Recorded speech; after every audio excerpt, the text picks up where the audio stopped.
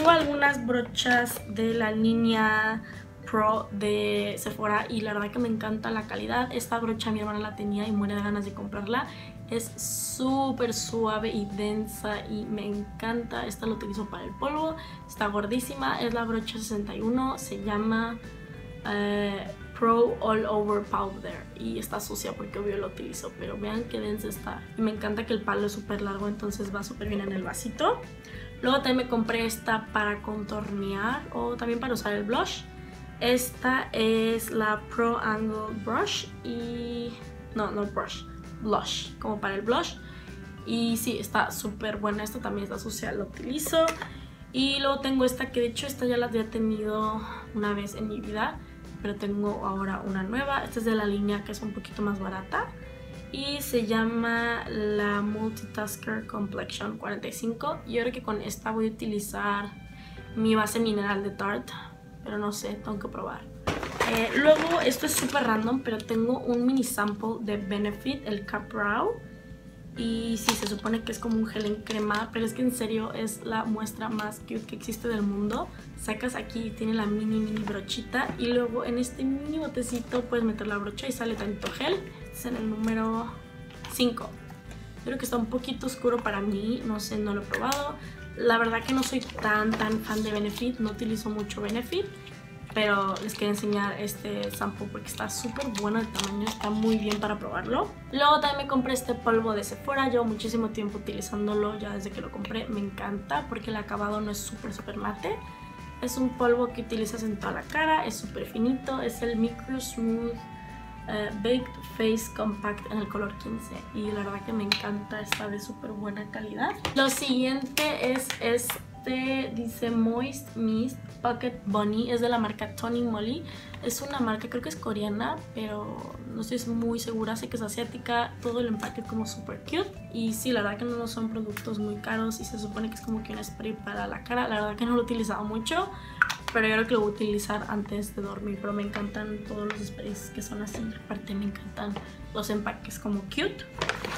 Y luego de Tony Moly tengo dos cosas más. Tengo este lip balm que parece una boobie. Eh, pero sí, se supone que es como que un durazno. Y en serio, huele cañón a durazno. Huele increíble.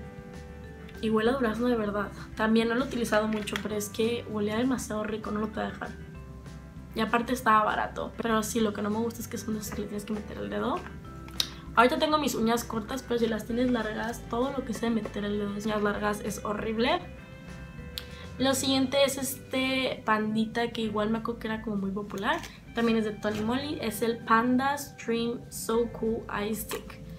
Y la verdad que lo probé mucho en la tienda, igual era barato, te lo pones en la mano y se siente súper súper frío. Es para abajo de los ojos, en la mañana se siente muy frío en la mano, pero lo he estado utilizando en los ojos y siento que aquí abajo no se siente tan frío.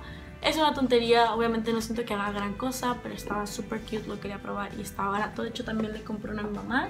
Luego tengo este spray de las uñas de Sephora, es el Express Dry Nail Drying Spray esto sí funciona. Te pintas las uñas, me echo esto y en serio ayuda muchísimo a que se sequen muchísimo más rápido y eso me encanta porque casi siempre me pinto las uñas y ya me tengo que ir a dormir. También me compré de Sephora esta cosa de esos que le metes el dedo. La verdad que muchos no hacen gran cosa, pero quería probar este porque este es especial para glitter.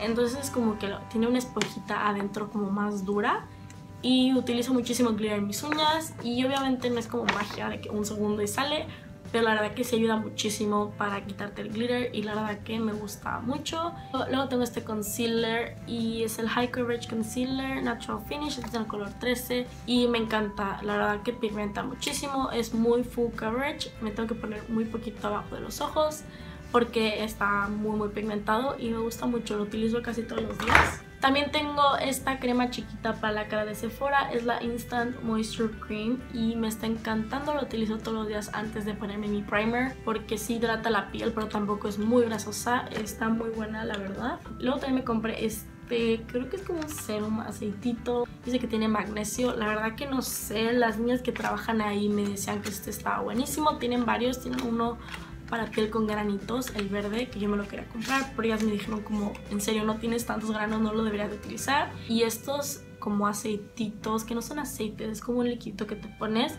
solo son como por 14 días y luego tienes que dejar que tu cara como que descanse. Algo así, eso me llama muchísimo la atención, como que siento que sí debe de servir. No lo he utilizado mucho, lo he utilizado como un día, pero es un goterito así, te pones poquitas gotas en la cara y no se siente grasoso, se siente como un agua. Luego tengo muchísimas mascarillas, estas de Sephora me encantan, como estilo muy de las asiáticas, ya las probé y la verdad que me gustan. No he probado la de los ojos, pero he probado las de la cara, que son de esas que viene como con una máscara que te pones de, como una telita. Y tengo varias de los ojos porque están muy baratas. Luego tengo estas de cara, y tengo también estas de los pies que no las he probado. Se supone que son como dos calcetines que traen como un adentro. Entonces va a hacer que tus pies estén más suaves. No quiero utilizar, tampoco lo he probado. Luego tengo estas toallitas de Sephora y estas las quería probar porque son toallitas desmaquillantes pero dicen que tienen salicylic acid, que se supone que es bueno por si tienes acné. Y yo siempre tengo granitos, pero creo que esto solo es como si tienes como muchísimo acné o acné, o sea, acné de verdad.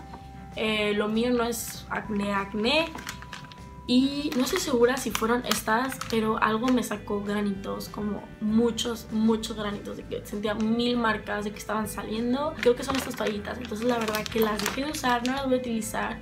Eh, entonces sí, creo que esto, si, si no tienes acné, no las utilices porque creo que no son muy buenas. Luego me compré un lipstick de Sephora y estos son nuevos son los Sephora Rouge Matte, es súper cómodo en los labios, es un acabado mate pero súper cremoso y es en el color M3.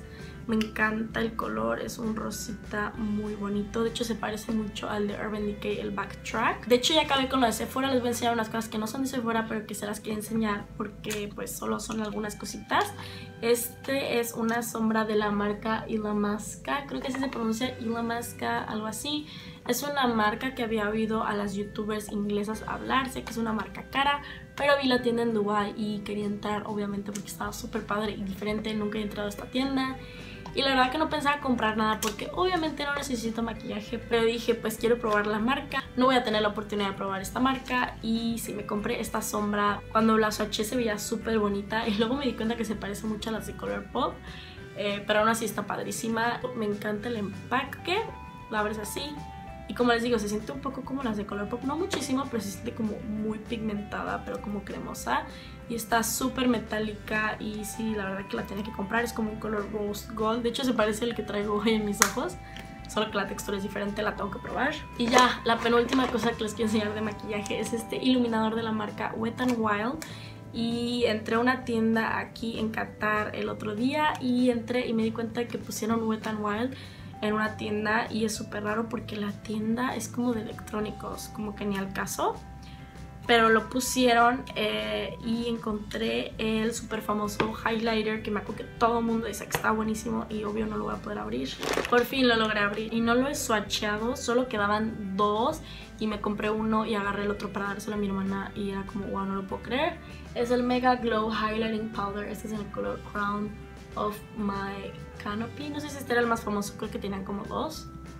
Y está súper bonito, siempre estaban agotados en la tienda. De hecho está un poco oscuro, no sé si esto lo podría utilizar de iluminador, se ve muy oscuro en mi piel. Pero bueno, lo tengo que probar, estaba muy emocionada de que lo conseguí. Y ahora sí, por último, esto es de marcas baratas también y es este barniz de la marca de Revlon. Lo compré en el aeropuerto, este no lo he visto aquí, creo que es algo nuevo. Y es este como top coat de Transforming Effects. Es en el color 765 Holographic Pearls. Y lo traigo en mis uñas encima de un barniz azul y se ve súper bonito. Sí, no es como que tan tan pigmentado, tiene este acabado como holográfico. Padre, obviamente no son como las uñas holográficas, las de gel, increíbles, pero siento que está muy padre por si quieren algo parecido, les recomiendo este barniz, está muy padre. Y sí, ya por fin acabé con mi mega mega haul de maquillaje, ya sé que eran muchísimas cosas, pero llevaba tres meses acumulando todo esto y que no había hecho videos, como que los videos que tenía antes eran pregrabados. Pero les haya gustado y no les haya aburrido, tengo muchísimas ideas de videos, de reviews, reseñas, swatches y todo lo que quiero hacer. Pero bueno, si eso es todo, espero les haya gustado el video y nos vemos en el próximo. Bye!